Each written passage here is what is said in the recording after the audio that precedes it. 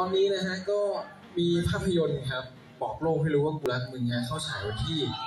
27มกราคมนี้นะฮะก็หวังว่าทุกคนจะได้ไปดูกันนะครับ อันนี้คือเร็วที่สุดแล้ว แล้วก็ตอนนี้มีซีรีส์ที่กำลังถ่ายอยู่ครับ My- ชื่อว่า My My Coach Coach ตะลุมรักตะลุมวันครับ yes แล้วก็น่าจะมีตามออกมาอีก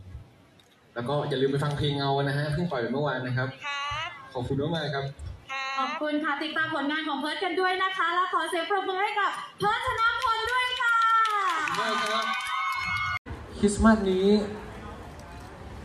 มีความสุขมากๆกันนะฮะขอให้พระเจ้าคุ้มครองนะครับ รักมากๆนะครับผมนะครับมา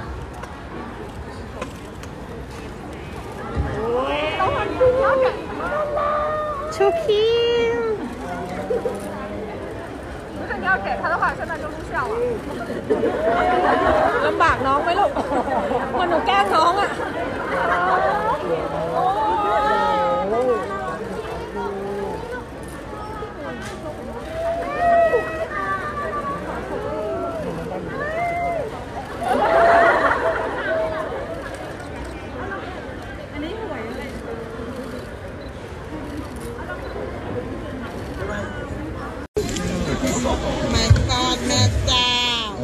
แป๊บนึงนะ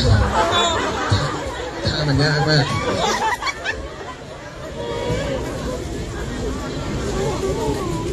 เราเราเราพูดภาษา